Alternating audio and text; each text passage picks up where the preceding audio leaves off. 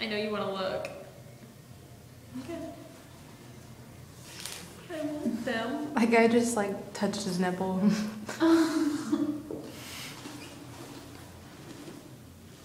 I'm recording you. Are you really? I've been recording you when you were like, oh.